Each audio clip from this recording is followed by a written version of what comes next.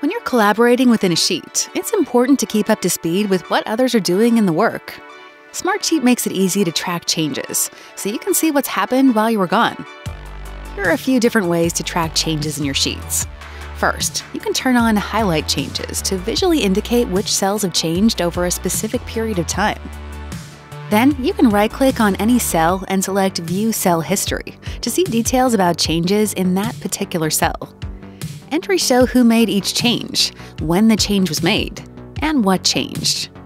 You can also open the activity log on the right to review the list of all tracked activity in the sheet. What you see depends on your sharing permissions. Sheet owners see all activities since the sheet was created. Admins and editors can only see activity since they were shared to the sheet. You can apply activity log filters by sheet actions. Collaborators share to the sheet, or a specific date range.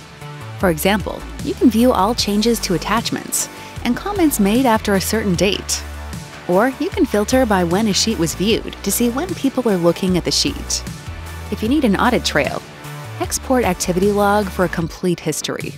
You can also set up a simple automated workflow to be notified about changes in your sheet, like creating an alert for when rows are added or updated.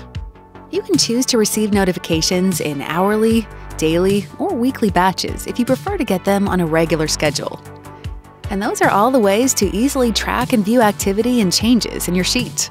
To learn more, check out the Help and Learning Center.